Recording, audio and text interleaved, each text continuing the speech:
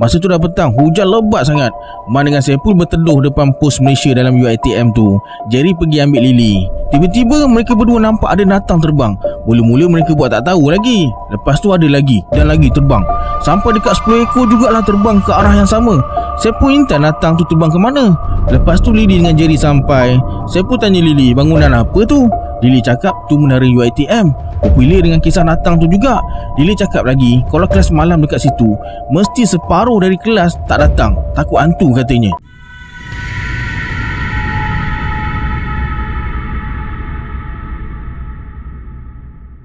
A'udzubillahiminasyaitonirrajim. Bismillahirrahmanirrahim. Assalamualaikum warahmatullahi wabarakatuh. Apa khabar semua? Kembali lagi bersama saya Syarul. Terima kasih sebab klik video ni. Semoga yang menonton video ni ditambahkan rezeki Dan dipermudahkan urusan dunia dan akhirat. Hari ni saya akan sambung cerita makhluk halus benci aku part kedua iaitu part terakhir lepas ni jangan tanya part ketiga pula nak tahu kisah apa kali ni tonton video ni sampai habis jangan lupa subscribe like dan komen dalam video ni pada yang nak join grup telegram saya saya letakkan link dekat bawah macam biasa sebelum saya mulakan jom kita baca selawat dulu صلى الله ربنا على النور المبين أحمد المصطفى سيد المرسلين صلى الله ربنا على النور المبين أحمد المصطفى سيد المرسلين صلى الله ربنا على النور المبين أحمد المصطفى Sayyidil Mursalin. Tanpa buang masa lagi, jom let's jump to Rabak Serah.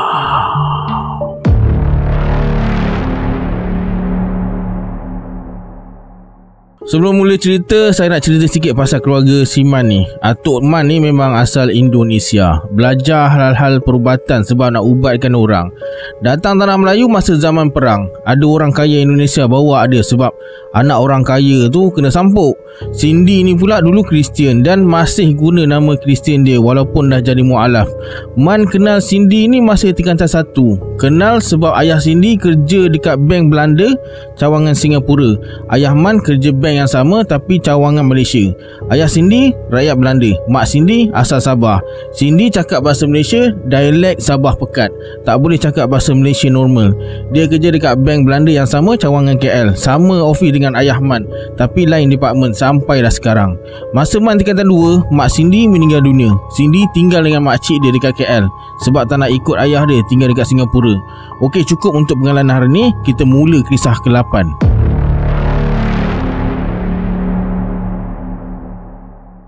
Masa Mak dengan Saiful dajah tiga Waktu tu cuci sekolah Mereka berdua sunat dekat kampung. Ada satu hari tu Atuk dengan Opah pergi rumah kenduri kahwin. Tinggallah Mak dengan Saiful berdua dekat rumah. Masa ni jalan pun kena pegang kain lagi. Baru tiga hari sunat. Jadi mereka pun duduk rumah Tengok TV Main game Dan sebagainya. Tak lama tu hujan lebat turun. Atuk dengan Opah kalau pergi rumah orang kahwin Mesti balik lepas maghrib. Hujan lebat Kilat sabu menyambung. Hari dah petang. Tiba-tiba blackout Tekan kengkang lah Man dengan Saiful pergi dapur cari lilin dengan mancis. Dah dapat, masing-masing patah balik pergi bilik TV. Dah pasang lilin, mereka baring lah balik. Masa tengah baring tu, tiba-tiba Saiful jerit, Baba, Baba, Panggil bapak dia Bapak dia dekat KL Rupanya pun nampak dekat penjuru atas bilik Ada natang tengah sengih-sengih dekat dia.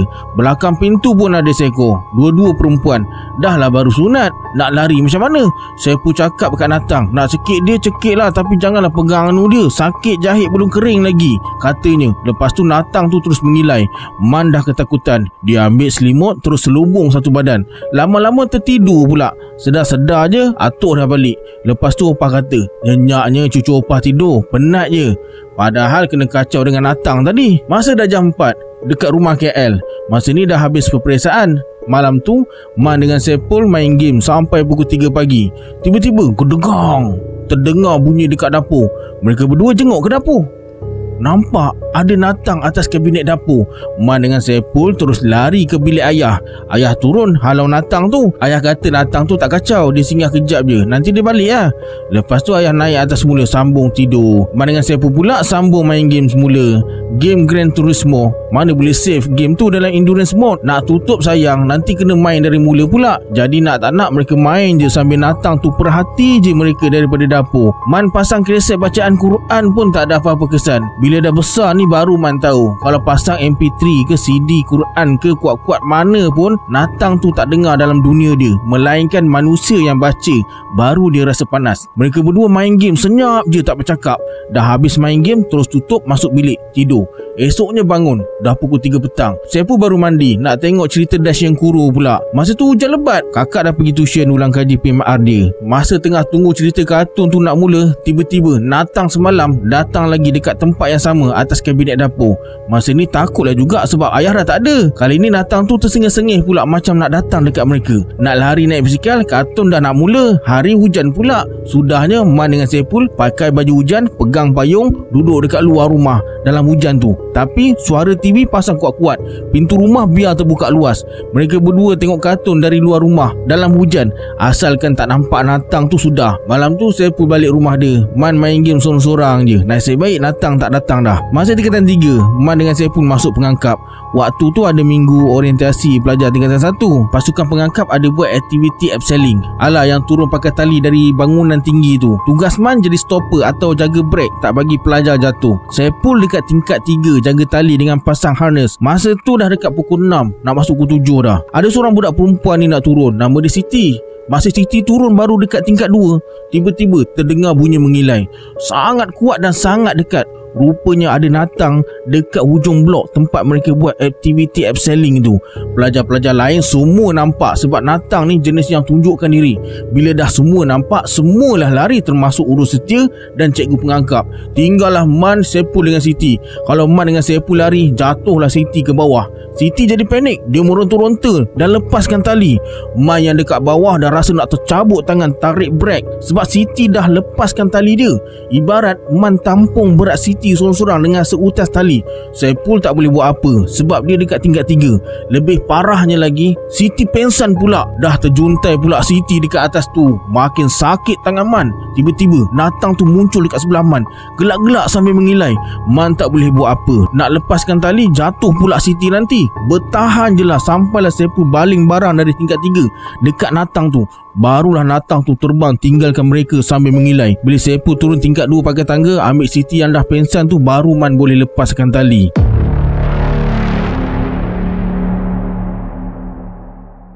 Jerry ni kelebihan dia boleh panggil Natang Ayah dia ajar Pak Langman ni. Jerry ada adik perempuan bernama Tulip muda setahun dari Man. Mereka panggil Kiko. Dia paling muda lah dalam sepupu sepapak Man ni. Dan Jerry ni sangat jaga adik dia si Kiko ni. Jerry pernah bertumbuk masa sekolah dulu sebab ada budak lelaki sorok beg Kiko. Disebabkan Jerry bersekolah dekat sekolah lelaki, masa Kiko naik tingkatan satu, Jerry paksa Kiko masuk sekolah menengah yang sama dengan Man, Cindy dan Sepul.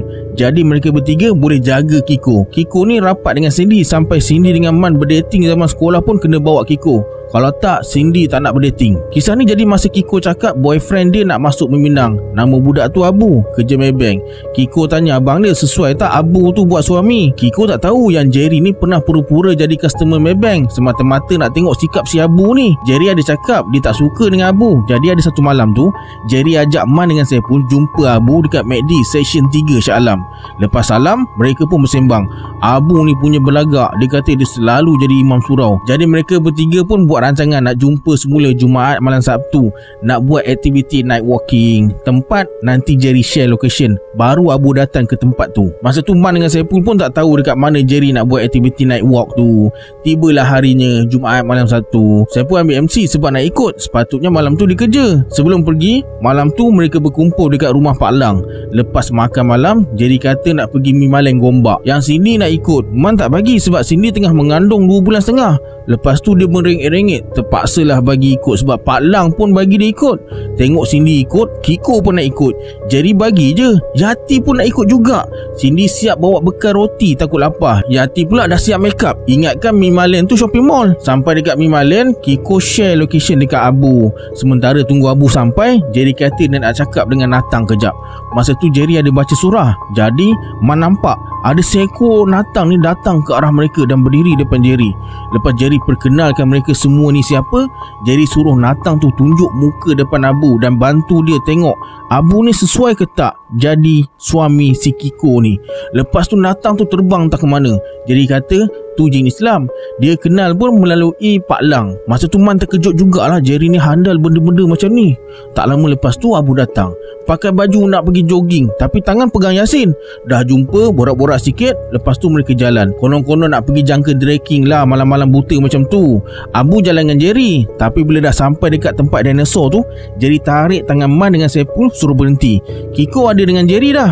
Man dengan Sepu pun tariklah tangan isteri masing-masing. Lama sikit baru Man perasan Abu tengah berjalan dengan enam ekor jelmaan natang yang muka sama dengan mereka semua. Muka Cindy, Man, Jerry, Yati, Sepu dan Kiko. Jerry yang sebenar suruh mereka diam dan menyuruh atas bukit.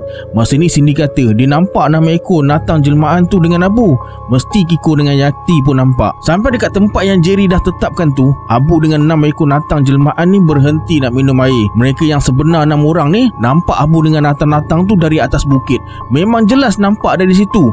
Jerry punya tujuan tujuan satu je. Dia nak tengok Abu macam mana Bila hadap situasi macam ni Kalau dia jerit Tak ingat agama masa nampak Natang tu Abu bukan untuk Kiko. Kalau Abu istighfar Nampak Natang tu pun dah cukup Buat Jerry terima si Abu ni. Maknanya Dia ingat Allah.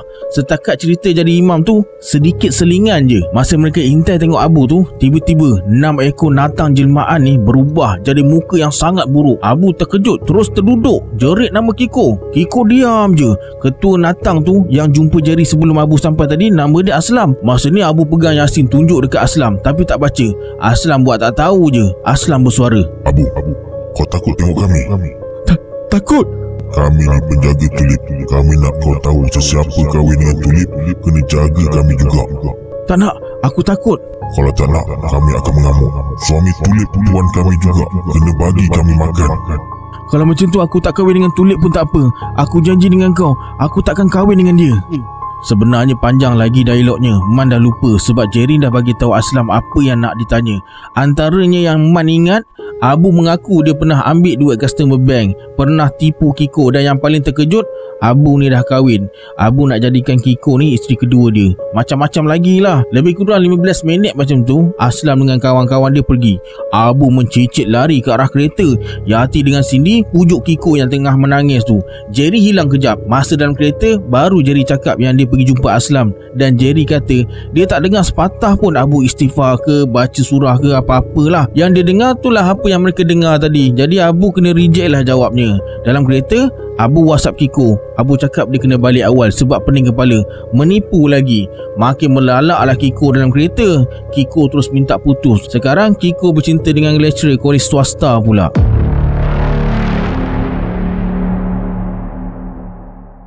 Cindy, Yati dengan arwah Lily ni bekas di Jerry pernah cakap Kalau Man sepo dengan Jerry dalam satu tempat yang sama Mesti ada benda-benda pelik yang jadi Contohnya, kisah ni terjadi dalam tahun 2012. Masa ni semua belum kahwin tapi masing-masing dah kenal lah. Mereka berenam, Man, Cindy, Yati, Kiko, Sepul dan Jerry pergi jengka Pahang sebab Jerry nak jumpa mak ayah Lily nak bincang pasal kahwin. Sampai dekat sana, masuk homestay. Homestay tu kiri kanan depan belakang semuanya berluka. Satu je jalan keluar masuk kereta, itu pun curam. Dalam website, gambar cantik dah sampai hampir nak jumpa mak ayah Lily hari kedua. Mereka berenam sampai sehari sebelum tu. Petang hari pertama tu Man, Kiko dengan Sepul pergi jogging. Anak owner homestay tu Yang bernama Bob ikut sekali. Dia tunjuk jalan. Bob tengah tunggu result SPM Konon nak jalan-jalan tengok kampung lah. Cindy dengan Yati tak ikut. Mereka nak siapkan makan malam. Jerry pun tak ikut. Ada kerja sikit pasal perniagaan Pak Lang. Jadi mereka bertiga berjogging lah Ditemani oleh si Bob. Tengah berjogging tu Tiba-tiba ada satu kumpulan lelaki Lari ke arah mereka sambil menjerit Tebuan, tebuan, tebuan. Mereka pun lari juga jugalah. Kena sengat terbuang tak pasal pula. Lepas tu Kiko berhenti. Dia cakap mana ada terbuang kejar Mana dengan Sepu pun tengok. Betul juga Tak ada seko pun terbuan Tapi kenapa sekumpulan lelaki tu lari? Dah lah dekat tengah-tengah kebun kelapa sawit pula tu. Tiba-tiba Ada bayang orang mengendap Dari celah-celah pokok kelapa sawit. Bila Sepu segah Bayang tu lari ke arah anak sungai. Man kejar Bayang tu terjun dalam sungai. Hilang macam tu je Tak timbul-timbul. Man mula rasa tak sedap hati. Dia terus telefon Jerry. Jerry cakap nanti dia datang. Tiba-tiba Bob hilang pula. Buas Man dengan Sepu cari keliling kebun sawit tu. Tak ada. Kiko Man pegang. Tak pasal-pasal hilang pula nanti. Tak lama lepas tu Jerry sampai dengan Lily naik motor. Lepas bagi tahu apa yang jadi Mereka semua cari Bob. Tak jumpa juga. Natang banyak lah yang Man nampak. Akhirnya Lily telefon seorang pakcik ni. Katanya lebay kampung. Dalam 10 minit je Pak Haji tu sampai Pakai kopiah Pakai kain Tak pakai baju. Naik motor Honda bulat Pak Haji mula baca surah. Masa dia baca Man nampak semua natang Mencicit-cicit lari. Lepas tu Pak Haji cakap Bob kena sorok dengan bunian Dalam masa yang sama Azam maghrib berkumandang. Pak Haji cakap dia balik dulu Nak ke surau. Tapi Pak Haji pesan Suruh cari pintu masuk ke alam bunian. Caranya cari buluh yang bengkok Macam pintu gerbang. Dah jumpa nanti telefon dia Lepas isyak nanti dia datang. Sebelum balik tu Pak Haji cakap lah Lelaki dekat situ ada kelebihan. Senang je jumpa. Pak Haji maksudkan pada Man, Sepo dan Jerry lah. Lepas tu dia balik. Kemudian mereka pergi ke kawasan buluh. Jarak dalam 50 meter Nak cari pintu tu. Masing-masing tak tahu rupa pintu tu macam mana. Tapi cari jugalah. Namuk punyalah banyak. Dunia bunian ni mereka tak tahu apa-apa Walaupun boleh nampak Natang ni. Cari punya cari tak jumpa-jumpa. Natang jumpalah. Sepu cakap dia jumpa Natang muka macam Siti Nurhaliza Akhirnya Jerry telefon Pak Lang. Lepas tu tunggu Pak Lang telefon balik. Lebih kurang 20 minit kemudian Pak Lang telefon. Dia cakap pintu tu ada dekat busuk yang dah pecah Mesti Pak Lang ada informer dekat Pahang ni juga. Mereka pun cari busuk tu. Waktu dah masuk maghrib Memang solat semua ke laut lah masa tu. Cari punya cari Jumpa busuk pecah tu. Lebih kurang 5 meter dari busuk tu Ada pokok buluh macam pintu. Bila lalu tak ada apa-apa Tak pergi alam lain pun. Tapi natang penuh lah keliling pintu tu Macam intai-intai. Mereka pun yakin Itulah pintunya dan telefon Pak Haji tadi. Sejam kemudian Pak Haji datang. Soalan pertama dia tanya Korang tak pergi solat maghrib ke? Baju sama je Tak kadu masing-masing. Lepas tu Pak Haji bersila depan pintu buluh tu Dan pesan Kalau nampak bunian jangan ikut kalau diajak. Yang perempuan tu amat cantik kata Pak Haji. Lepas je perkataan cantik keluar dari mulut Pak Haji Cindy dengan Yati sampai dengan kereta. Masa Pak Haji kata nak mula panggil Bob Banyak natang datang berkumpul nak tengok. Tiba-tiba Lily terdiam Ketawa Mengilai sambil tarik rambut Kiko Nasib baik rambut Lily pendek masa tu. Kalau tak dah macam puntianak mengilai. Pak Haji berhenti kejap Sebab nak selesaikan dua perkara. Satu hal bunian Satu hal Natang merasuk ni. Jerry naik angin. Dia menjerit paksa Natang tu keluar. Kejap je Lily tersedar Lepas tu Jerry bagi amaran Kalau Natang datang kacau mereka lagi Dia patahkan kaki dengan tangan Natang tu. Lepas tu Pak Haji sambung semula. Tak lama lepas tu Tok penghulu dengan seorang perempuan bunian keluar daripada buluh tu. Cantik sangat perempuan tu. Bincang punya bincang Mereka kena ambil Bob dekat seberang sungai. Tapi Bob tak basah pun. Cuma dia macam hilang ingatan kejap. Lepas ambil Bob Jerry dengan yang perempuan semua hantar Bob balik Naik kereta. Pak Haji tu balik naik motor. Man dengan Sepul kena balik jalan kaki malam tu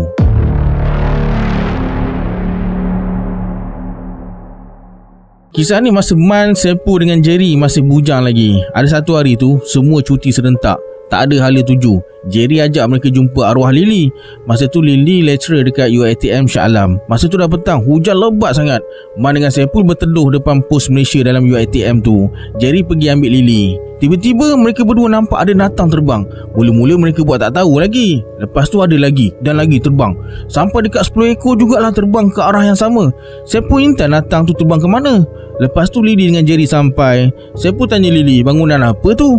Lily cakap tu menara UiTM Popular dengan kisah Natang tu juga Lily cakap lagi Kalau kelas malam dekat situ Mesti separuh dari kelas tak datang Takut hantu katanya. Lepas sembang-sembang dengan Lily Dia minta diri sebab ada kelas nak mengajar. Tinggallah mereka bertiga dekat situ Sambil fikir nak ke mana. Lepas tu saya pun ajak mereka jadi ghostbuster kejap hari tu? Mereka pun google lah tempat-tempat berhantu. Malam tu lepas solat isyak Sebelum mula ke operasi Mereka pergi beli nasi lemak bungkus Yang famous dekat Shah Alam. Lily yang suruh try nasi lemak pokok jati Section 3 tu Depan asrama lelaki. Panjang juga beratur. Nasi lemak tepi jalan Pakai van je. Tapi disebabkan nak rasa apa yang sedapnya Mereka pun beratur jugalah. Masa beratur Man terasa macam ada Natang berdekatan Tapi Dia buat tak tahu je. Tiba-tiba Jerry keluar barisan. Dia ajak Man Sepul seorang je yang beratur Tak jauh dari situ Jerry korek tanah. Jumpa bunjut warna kuning. Dalam tu ada paku dengan rambut. Jerry kata benda ni baru tanam petang tadi. Dia tuju untuk nasi lemak pokok jati tu. Yang hantar pun jual nasi lemak juga Tapi kawasan lain. Tak jauh dari situ. Ni nak buat biar orang nampak Van nasi lemak tu sentiasa tertutup. Jerry pun baca-baca. Lepas tu campak paku dalam longkang. Rambut tu dibakar pakai letter Lepas tu Man dengan Jerry nampak ada natang terbang dari atas van nasi lemak tu. Lepas natang tu terbang, barisan nak beli nasi lemak tu makin panjang sampai nak masuk pintu masuk asrama. Nasib baik Sepu beratur lagi. Kedai nasi lemak ni tak pakai pelaris.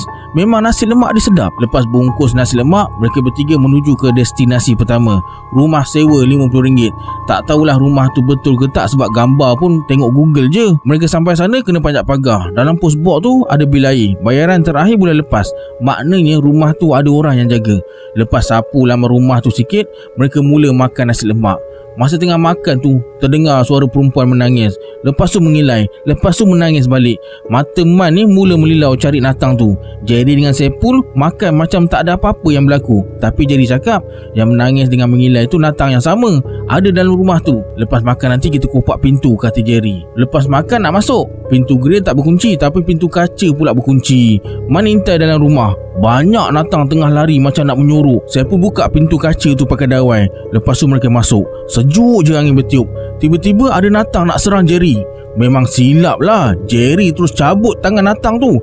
Lepas tangan natang tu tercabut Ada natang lain datang. Budak perempuan. Katanya dia ketua dekat situ. Datang sini nak apa? Dia tanya Jerry pun berdialog lah dengan natang budak perempuan tu. Budak tu cakap tuan dia suruh dia dengan natang-natang lain jaga rumah ni. Jangan bagi orang yang tak dikenali masuk dan tinggal. Jerry tanya mana tuan dia? Natang tu cakap dah berpuluh tahun tuan dia tak balik. Bila tanya pasal tuan sekarang, natang tu kata tu bukan tuan asal mereka. Selagi tuan asal tak balik, dia takkan pergi dari rumah tu. Jadi itulah cerita rumah tu. Dalam tu ada budak kecil, natang bentuk anjing, pocong dan yang paling seram yang tak ada muka. Yang ni suka menyamar jadi orang lain. Destinasi kedua Rumah Mona Fendi. Dekat sini tak ada apa-apa. Hula ada lah. Setengah jam duduk dalam tu Sikit bayang pun tak ada. Mereka bergerak ke lokasi ketiga. Sebuah resort di Shah Alam. Mereka masuk sana Guard pun tak alang Suasana memang seram Tiba-tiba nampak bayang Natang. Mereka pun ikut Natang tu. Natang tu berjalan tapi tak jejak tanah. Warna kelabu. Ada setengah warna seakan-akan hitam. Menurut Pak Lang Warna hitam tu biasanya orang yang bela. Mereka ikut Natang tu naik tangga Hinggalah Natang tu masuk dinding. Tapi dalam tu bukan bilik hotel. Ada kerusi untuk belajar dengan whiteboard. Mungkin dijadikan kelas kod Tapi Jerry tak puas hati. Dia buka semua pintu nak cari Natang tu Tapi tak jumpa. Hinggalah Sepul bakar rokok. Tiba-tiba seekor Natang keluar Nak telan nasab yang Sepul hembus tu Baru teringat jin makan asap. Jadi mereka bakar rokok sepul ni banyak-banyak campak merata tempat. Banyak datang keluar nak makan asap.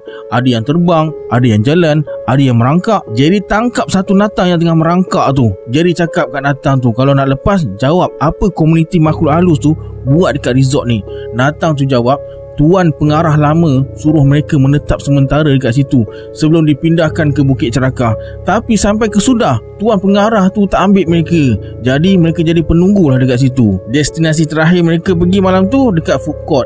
Lily kata student ramai beli nasi dekat situ. Kalau ada yang sakit perut pun, mesti akan ada yang beli juga. Sampai dekat sana, lepas parking kereta, mereka menyorok seberang jalan kedai yang dimaksudkan tu. Tak ada apa-apa yang istimewa pun Cuma orang kedai tu tinggalkan semua peralatan dia dekat luar Macam sudit, senduk, sudu, garfu, pinggan dan mangkuk Jam dah pukul 1 pagi Tapi mata masing-masing segar lagi Lama juga mereka tunggu Tapi tak ada apa-apa aktiviti natang pun Tak lama lepas tu sampai satu kereta Alphard Driver lelaki turun buka pintu. Tapi tak ada siapa yang keluar. Jadi cakap banyak datang turun dari Alphard tu. Lepas Alphard tu jalan Baru Man nampak Ada tiga natang Fizikal macam manusia. Natang tu semua tengah jilat. Sudip, sudu, senduk, garfu, pinggan, mangkuk. Satu-satu mereka jilat. Dalam lima minit Alphard tu datang balik. Jemput natang tu pergi.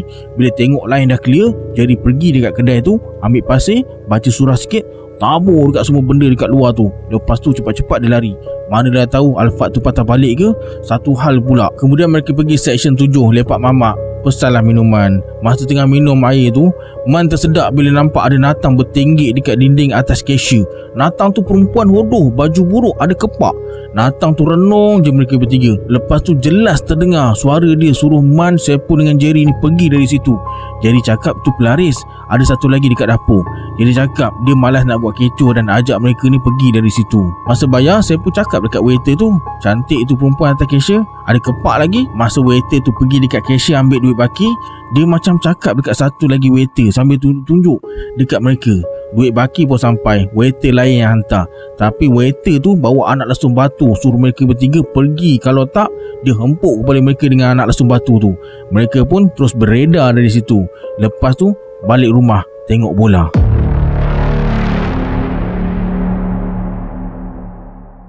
Dr. Rush dan Dr. Maria ni dah lama dengan keluarga Man. Keluarga dia sangat rapat dengan keluarga Man. Man panggil dia pun uncle, bukan doktor. Kawan baik Pak Lang dari zaman UM lagi. Dia ada klinik dekat Ceras. Man lahir dekat klinik dia Noah anak Man ni pun lahir dekat klinik dia Dah jadi macam doktor peribadi keluarga si Man ni. Sebelum masuk cerita ni Saya harap pendengar semua Dengar dengan fikiran dan hati yang terbuka. Ini bukan cerita resis ke Campur hal agama orang lain ke Atau apa-apalah. Ini pengalaman yang dialami oleh Man, Sepul dan Jerry sendiri. Sampai Man dengan Sepul Kena jahit sebab terluka dalam kisah ni. Jerry tak ada apa-apalah. Dan ini adalah pengalaman paling teruk Man pernah hadapi dalam hidup dia Kisah ni jadi masa Jerry baru kahwin dalam seminggu macam tu. Satu hari tu, Man dengan Cindy pergi jemput Jerry dengan Lily dekat KLIA dalam pukul 10 malam. Masa tengah tunggu tu, ayah telefon suruh pergi rumah Dr. Rush bawa Jerry sekali. Urgent pasal Natang katanya. Ayah dengan Pak Lang tak ada dekat Malaysia. Ada urusan perniagaan dekat luar negara. Bila Jerry sampai, Man bagi tahulah pasal tu. Jerry terus telefon Pak Lang. Pak Lang kata jangan bawa Cindy dengan Lily. Jerry pun telefon Sepul dekat rumah. Suruh datang bawa kereta nak bagi Cindy dengan Lily balik. Lepas Cindy dengan Lily balik rumah, Man, Sepul dengan Jerry terus ke rumah Dr. Raj dekat Bangi. Bawa kereta perlahan je sebab tiga-tiga Rabu malam. Dalam perjalanan, Jerry cakap Nathan jahat ni kacau Dr. Raj satu keluarga. Ada orang hantar. Rumah Dr. Raj ni tersorok sikit, banglo dua tingkat. Bila sampai depan rumah, mereka baru habis parti hari jadi. Dalam tu, Man, Sepul dengan Jerry nampak banyak gila datang Macam askar serang rumah Dr. Rush ni Tetamu Dr. Rush pun masih ramai lagi dalam rumah masa tu Dalam 20 orang Man dengar orang menjerit histeria Kemudian Man dengan pun masuk dulu Nak cari Dr. Rush Jerry pusing keliling rumah Nak cari apa-apa yang berguna Rumah besar Kena pusing-pusing pula cari Dr. Rush Ramai yang kena histeria Guling-guling atas lantai Masa jumpa Dr. Rush Dia tengah baca kitab Sambil pegang salib Dr. Rush ni dulu penganut Kristian yang warak Perempuan dan lelaki semua kena histeria Tapi bila Dr. Rush baca kitab tu makin ramai natang yang sampai dari luar dengan segera Man suruh Dr. Rush berhenti baca dan terangkan apa yang berlaku bila baca kitab tu. Muka Dr. Rush nampak pucat sangat. Walaupun dia berbangsa India tapi kulit Dr. Rush ni putih. Tiba-tiba Jerry telefon suruh tolong dia tarik sesuatu. Man Sepo dengan Dr. Rush segera ke belakang rumah. Tetamu dalam rumah masih menjerit-jerit histeria lagi. Malam tu pula bulan mengambang, langit cerah, lampu pula terang benderang. Nampak jiran-jiran semua intai dari celah lansir rumah masing-masing. Bila sampai dekat Jerry, mereka korek tanah Jumpa macam keranda mini Kalau tegakkan setinggi lutut Bila buka keranda mini tu Dalamnya ada babi doll Ada salib dan kertas kuning tulisan Thailand Kertas tu semua ada calik dakwat merah Tapi Dr. Rush kata tu darah Cuma tak tahu darah manusia atau hewan Yang salib tu pula dipakaikan dekat babi doll Dalam keadaan terbalik Dr. Rush cakap dia tak tahu apa-apa pasal keranda tu Jadi kata keranda ni ada orang tanam Cuma tak tahu siapa Jerry pun bakar keranda tu dengan isi kandungannya sekali. Lepas tu mereka pergi ke kolam renang sebab dekat sana ada mikrofon. Jerry suruh Dr. Rush panggil siapa yang masih sedar tak kena histeria datang ke kolam renang. Ada lima orang je yang datang termasuk isteri Dr. Rush, Dr. Maria tu. Dr. Rush cakap lebih 15 orang lagi ada dekat dalam rumah. Jadi Man, Sepo, Jerry dan Dr. Rush masuk dalam rumah cari siapa yang kena rasuk nak sembuhkan. Tugas Man, Sepo dan Dr. Rush cari orang kena rasuk Pegang tangan dan kaki. Jerry selesaikan. Untuk Natang grade rendah Jerry baca ayat kursi dengan ayat-ayat Quran pilihan.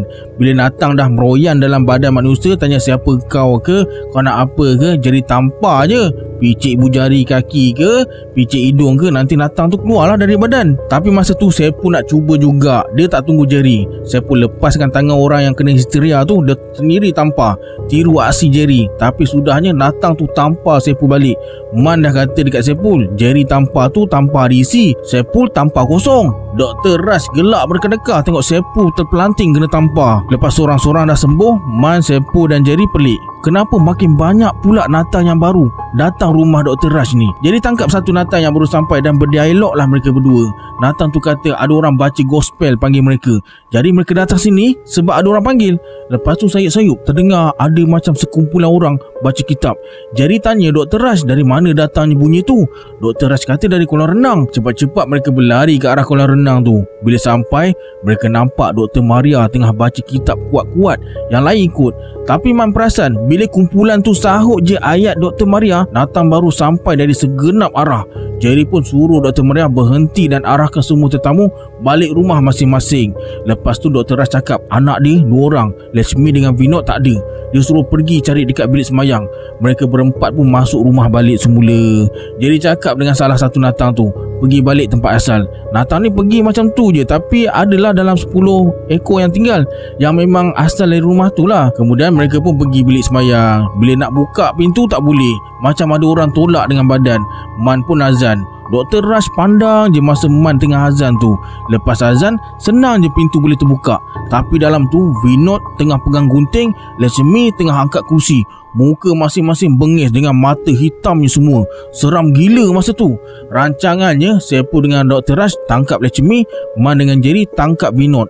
Tapi tak semudah yang disangka. Mula-mula Sepul kena hentak dengan kursi kayu Tepat dekat kepala oleh Lechemi Sampai Sepul terbaring Muka berdarah Disebabkan insiden tu Posisi Man sekarang betul-betul dekat belakang Lechemi Yang kena rasuk Man terus lompat terkam Lechemi dari belakang. Dapat tangkap Lechemi, Dr. Raj tindih Lechemi. Tapi lepas tu, Man terasa belakang peha dia pedih sangat. Rupanya Vinod dengan mata hitamnya dah cucuk gunting dekat peheman. Jerry terus tendang Vinod sampai tercampak. Saya pun pula bangun dan tindih pula si Vinod. Dipendekkan cerita, Vinod pun sembuh. Senang je kata Jerry. Tapi bila giliran lecemi, Jerry cakap susah sikit. Dr. Raj cabut gunting dekat peheman sampai menjerit Man dibuatnya. Man terus keluar bilik tu. Dr. Raj suruh Man pergi jumpa Dr. Maria dekat kolam renang. Suruh dia periksa sebab luka dekat Man tu teruk katanya. Masa tengah balut luka tu, pun Jerry, Dr. Raj, Lechmi dengan Binok keluar dari rumah. Waktu dah masuk subuh sebab terdengar azan. Man nampak tepi mata Sepul ada darah mengalir tak berhenti-henti. Lepas tu mata Man makin lama makin kabur dan terus hilang. Man sedar je dia dekat hospital Putrajaya dengan peha berbalut baru lepas jahit. Doktor cakap Man hilang banyak darah sampai pingsan. Kata Jerry, ketua Nata yang dihantar masuk dalam badan Lechmi tu susah betul nak halau keluar. Sepul kena azan dekat tujuh kali baru Jerry dapat paksa Natang tu keluar. Yang hantar tu pun doktor juga. Business partner Dr. Raj. Ceritanya dia nak beli klinik Dr. Raj. Dr. Raj tak nak jual. Dia pakai bomoh dari Filipin dan Thailand nak kenakan Dr. Raj. Dalam 2-3 minggu lepas kejadian tu, Dr. Raj datang rumah Pak Lang. Ajak Pak Lang pergi Jawi. Dia kata lepas peristiwa tu, dia tak sangka pandangan dia pada Islam berubah. Lepas tu, Man tak tahu apa jadi. Cuma sekarang, Dr. Raj satu keluarga dah masuk Islam dan berpindah ke rumah lain. Tapi klinik masih ada lagi dekat tempat yang sama. Okey sampai sini dulu kisah untuk hari ini Sebelum kita pisah anggaplah kisah ini sebagai hiburan semata-mata. Janganlah terlalu mudah percaya Hanya yang mengalaminya. Tahu akan kebenaran sesuatu kisah tu. Kita berjumpa di video akan datang. Saya Syahrul Assalamualaikum. Adios